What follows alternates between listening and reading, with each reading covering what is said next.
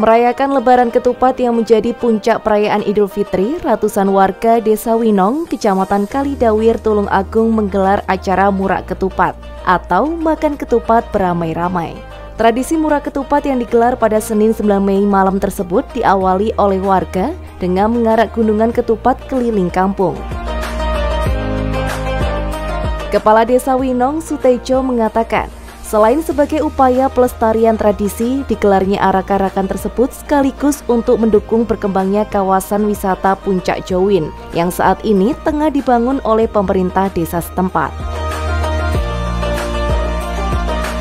Usai didoakan oleh tokoh adat dan tokoh agama setempat, ratusan ketupat yang disusun menjadi sebuah tumpeng raksasa tersebut dibagikan ke warga dan menjadi rebutan.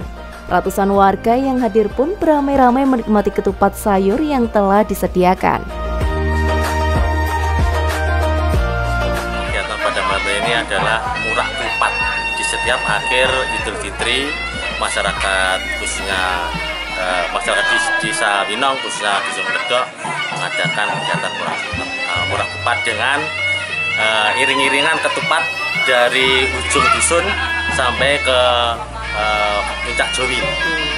Nah, dengan uh, peserta dari anak-anak, remaja dan orang tua. Sutejo menambahkan saat ini pihaknya tengah mengembangkan tempat wisata keluarga dan bumi perkemahan di perbukitan Desa Winong. Pembangunan wisata di desa Puncak Jowin yang menyajikan keindahan panorama saat siang maupun malam tersebut ditargetkan selesai dalam tahun 2023. Dari Tulungagung, Agus Bondan melaporkan.